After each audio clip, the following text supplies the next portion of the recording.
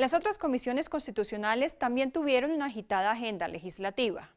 Debate de control político sobre la vía al llano, la migración y las zonas afectadas por el conflicto estuvieron en el orden del día. La Comisión Primera realizó un debate de control político para denunciar el bajo presupuesto para el postconflicto en el departamento del Huila.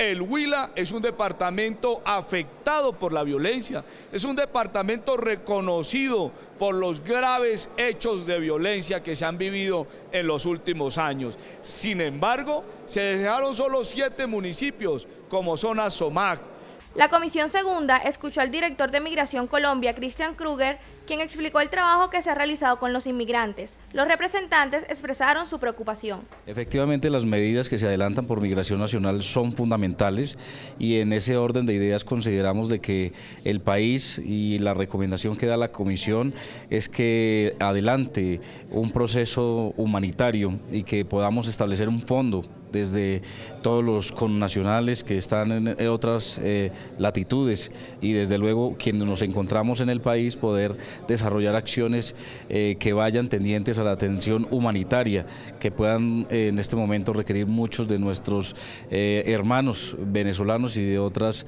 nacionalidades. La Comisión Séptima aprobó la realización de un debate de control político con el director de la Agencia Nacional de Infraestructura debido a las irregularidades existentes en los contratos viales de los llanos. Tenemos en nuestro departamento unas concesiones viales que se firmaron desde el año 2015 y que aún no han empezado, que aún no arrancan y tenemos una gran preocupación por las vías de nuestro departamento.